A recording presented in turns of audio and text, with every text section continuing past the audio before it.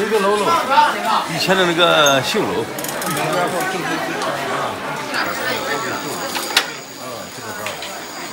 聚贤楼。嗯，聚贤。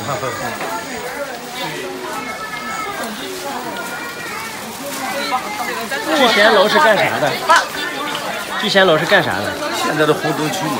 哦，属于干那的。因为他这个红灯区要开到这个政县衙旁边。啊。政府官员有钱嘛？啊，我还以为老百姓没钱。我还我还以为聚聚那些秀才呀、状元呀，就是那些。现在的红灯区。